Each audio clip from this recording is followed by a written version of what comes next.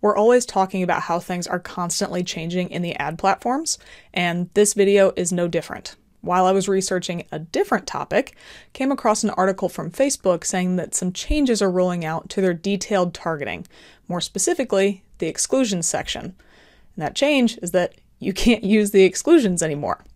Now, I'm not a huge fan of this, and my guess is that if you've been using exclusions in your campaigns, you will also not be a fan of this, but this is where we are. They've already made the announcement, and as of July of 2024, they're going to be rolling out those changes. So, in this video, I want to give a little bit more of a detailed overview of what's changing, talk about how it's going to impact your campaigns, and talk about what to do next.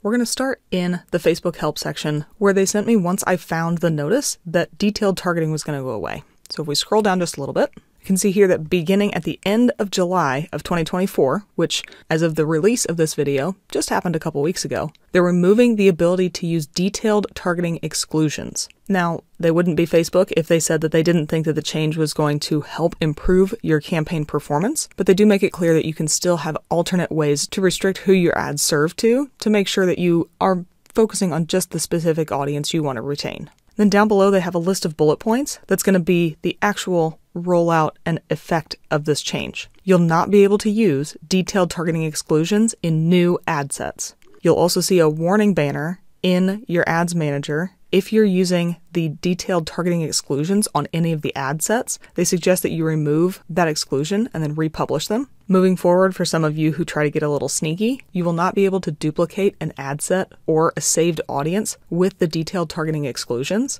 And they even go so far as to say you won't be able to edit the audience if it's using the detailed targeting exclusions moving forward.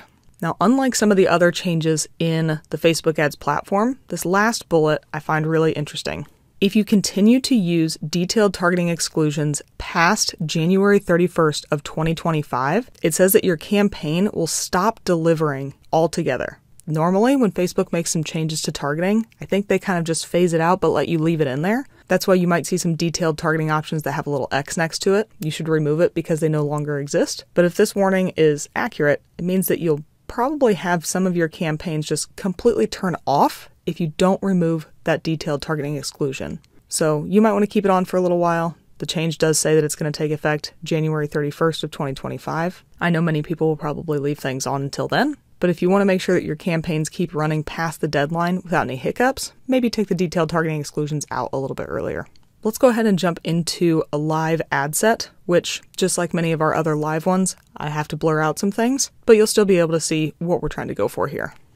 I've gone ahead and selected an ad set in one of our campaigns already because, as that announcement said for Facebook, this change is slowly rolling out to a lot of accounts. I'm already finding that a handful of my accounts do not have the ability to still exclude detailed targeting users. So let's go through this a bit. I'm going to scroll down to the audience section here. And the first thing I want to call out was also listed on that help page, and that is custom audiences down here you'll see that there's an add exclusion button right below the audiences that we're using in this account. This exclusion type will not go away with this change. You'll still be able to exclude specific custom audiences from your ad set because those are users who are in your specific audience. This is not considered the detailed targeting section, so this will not be affected. The part that's going to go away is a little bit further down in this section, as you can see here, we have the detailed targeting options here. Have a handful of things that I apologize are blurred out, but I think if we start to put those in there, might give away who the client is, at least to the client. And if you're one of our clients watching this video, hello, we'll talk to you soon. The type of exclusions that are going to go away with this change is going to be this button down here, where you can add exclusions that then opens up. These are going to be identical to the targets that you have in detailed targeting, but you'll no longer be able to exclude them. So let's find one that makes some sense. Maybe just open up food and drink. How about beverages? So for this example, we would not be able to target people who like coffee and then exclude people who like tea. You'd only be able to target the coffee drinkers and not exclude the tea drinkers from your detailed targeting. Overall, it's a pretty simple change, but depending on how long you've been running Facebook ads, you're probably pretty used to utilizing those exclusions, and this will be a big change for you. So the last piece we want to talk about is what can you do to try and control your audiences.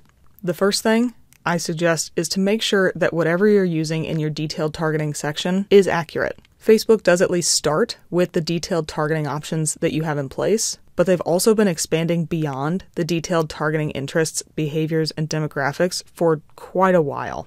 We no longer have the checkbox that lets you decide whether or not you want to expand beyond your current interest targets. It automatically does that for you. So there's already a little bit of fuzzy match going on in there. The removal of exclusions is just taking it one step further. So make sure you have whatever you're using for detailed targeting locked down and everything looks really strong and is focused where you want it. The second option is to continue leveraging these exclusions that we have for custom audiences. If you know you have a certain data set of users that you don't want in your campaigns, make sure you exclude them. Might not be as broad of targeting as you would like to exclude because you have to already own it in one way, shape, or form, whether it's a customer upload or the way they've engaged with your Facebook page, but at least it helps you control things a little bit. And the last type of control you have in your Facebook ad campaigns is actually going to be away from the audience manager itself we're going to scroll down to the placement section down here. Right now we're using all placements, but if we open up show more options, you'll see the brand safety and suitability controls.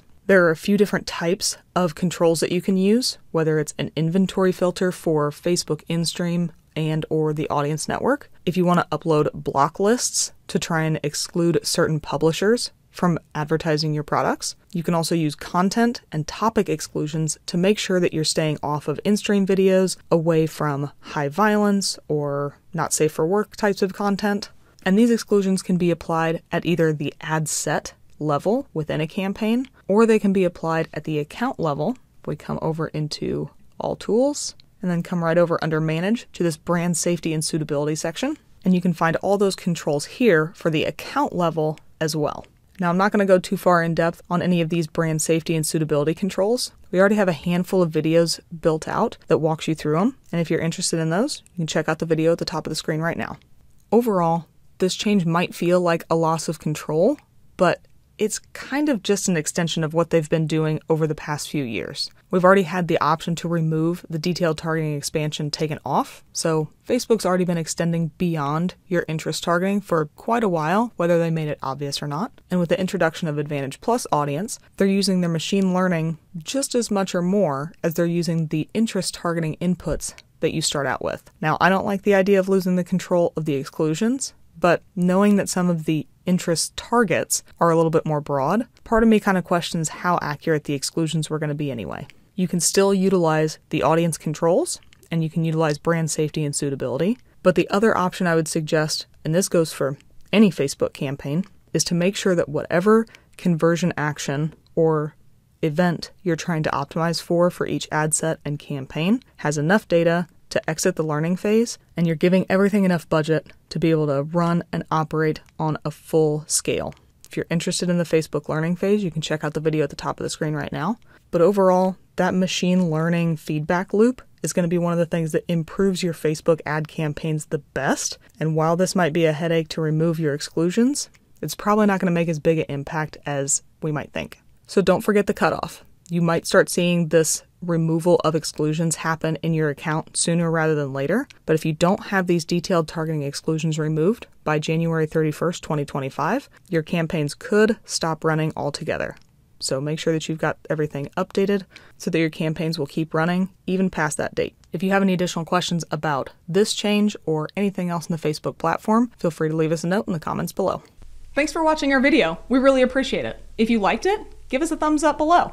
If you really liked it, maybe think about subscribing to the Paid Media Pros YouTube channel and you'll get alerted every time a new video drops. If you really, really liked it, you can help support the channel by checking out some of the t shirts that we're wearing on our merch shelf, as well as looking at the Super Thanks button.